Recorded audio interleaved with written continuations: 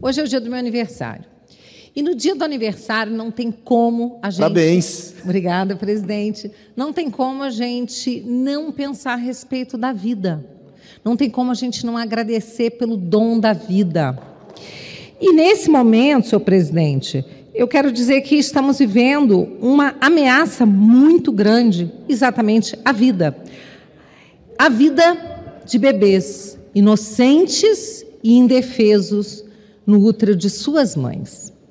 Senhor presidente, a gente pode aprender muito com a história, mas aparentemente aqueles que militam em favor do aborto, da liberação do aborto, não aprenderam nada, nada com a história.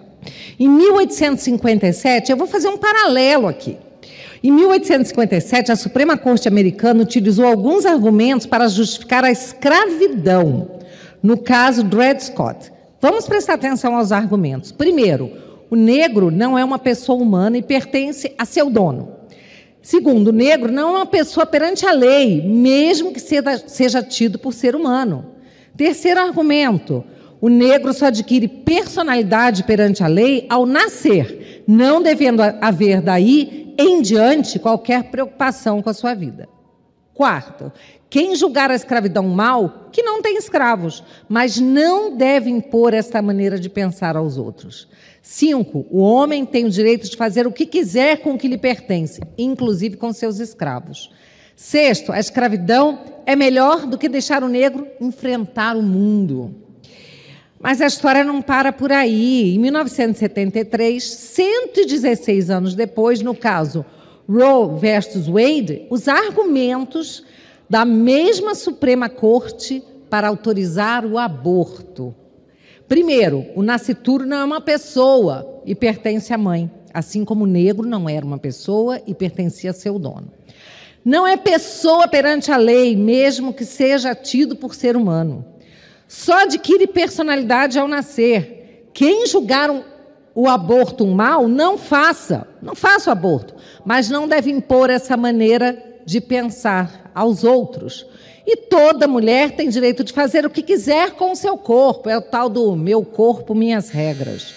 É melhor o aborto do que deixar uma criança mal formada enfrentar a vida. A semelhança é chocante. É assustadora, deputado Marcos Brasil. Então, o que se dizia sobre os negros Deputado Otone, hoje se diz sobre crianças, bebês no ventre materno. Eu quero dizer que nós não podemos aceitar nenhuma nem outra. Assim como nós repudiamos a escravidão, o mal que foi feito pelos pensamentos que lá atrás foi propagado e julgado pela Suprema Corte Americana, hoje nós assistimos a Suprema Corte do Brasil julgando uma DPF contra o entendimento desta casa, nós que somos os legisladores e legítimos representantes do povo, querendo que a matança de bebês seja algo natural, pelo mesmo motivo que lá atrás a Suprema Corte Americana entendeu que a vida de negros também não valia nada. Pensem, colegas, reflitam sobre isso e vamos lutar pela vida.